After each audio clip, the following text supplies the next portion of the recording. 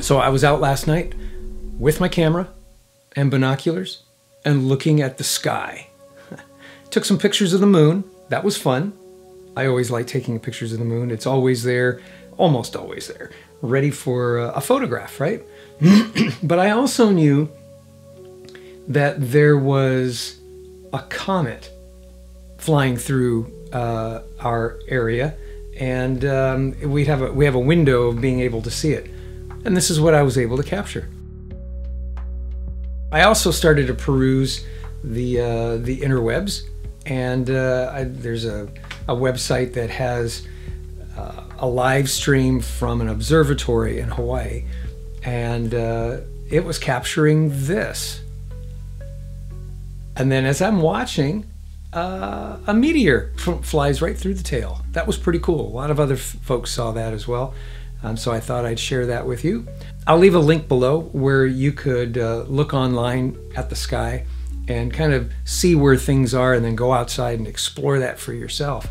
But uh, let's take a look at this photograph for just a moment. Okay, first off, I think I'm going to butcher the name, but it's Chu Chin Chan is uh, the name of the comet and uh, I'll leave a link to where you can go see why it's called that and all of that.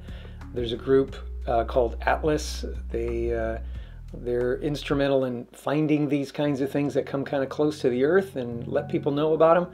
Why is it named Tsuchinshan? Well, this is what I found. The name Tsuchinshan or Tsuchinshan comes from the Chinese name Sikinshan, Jinshan, meaning purple mountain it refers to a mountain located near Nanjing, China, which has been historically significant. The mountain is known for its beautiful scenery, cultural heritage, and various astronomical observatories, such as the Purple Mountain Observatory, Zijinshan Observatory. This observatory, founded in 1934, is where many important astronomical discoveries were made, particularly in asteroid observation.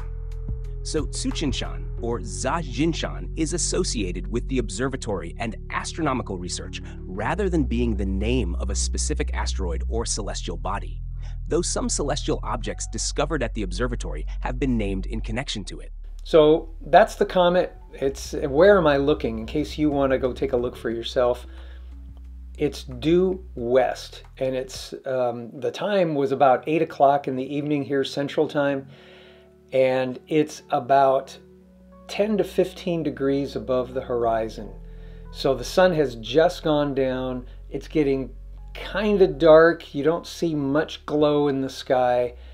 And then you'll see uh, kind of a fuzzy stream. Now, what I've done here is this is a two second exposure with my camera.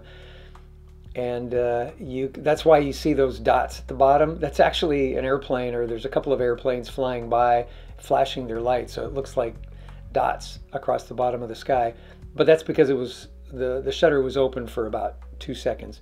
I took a few photos, and um, what I would suggest is get out there around seven o'clock in the evening and just start looking west and don't look into the sun because the sun will probably still be kind of high in the sky.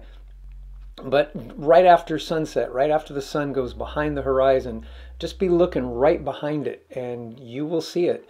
It's to the right of Venus, which is going to look like a very bright star, and it's to the left of another pretty bright star that's there. Um, but again, it's going to, by the time you see it, it's about 15 degrees above horizon. Be sure you're out in an area where there is not a whole lot of light pollution. That'll help.